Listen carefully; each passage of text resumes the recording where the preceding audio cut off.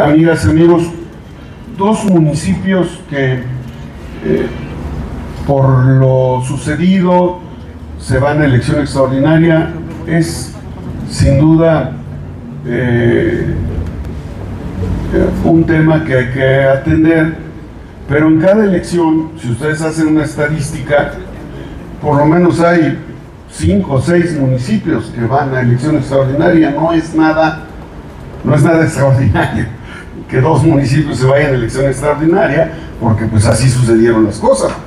Y eh, los órganos electorales tomaron esa decisión con todo un criterio jurídico. Se rompió la línea de la, la, ¿cómo se llama? línea de custodia, ¿no?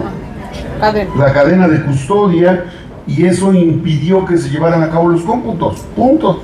No se pudieron llevar a cabo. Entonces se tiene que llevar a una elección extraordinaria hubo sucesos complicados en esos lugares, están acreditados por ustedes como medios de comunicación, hay argumentos jurídicos, eh, electorales y de seguridad que eh, le dan congruencia a la dictaminación que hacen los órganos electorales.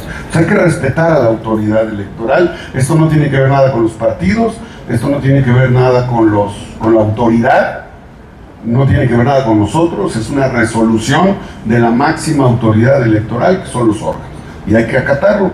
Y, creo que eso es lo, lo, que conviene. Pero no es nada extraordinario sin que se minimice el hecho en, en Chinahuapan y en Venustiano Carranza. Claro que hay que darle la importancia, hay que darle la, hay que ocuparse de, de ello y hay que esperar a que la autoridad defina los plazos.